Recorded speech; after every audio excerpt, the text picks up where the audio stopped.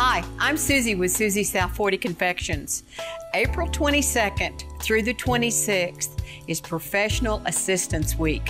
It's the time when you can say thank you for those people who take care of you and make your offices and businesses work. From a box of frozen Texas pecan toffee to a custom gourmet basket, the sweetest gifts for your staff come from West Texas' favorite candy and gift store, Susie's South 40 Confections, in Midlands Plaza, Oaks, Wadley, and Garfield. Come see us.